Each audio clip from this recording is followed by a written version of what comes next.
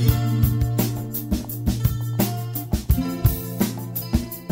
皆さんこんにちは。アートピースです。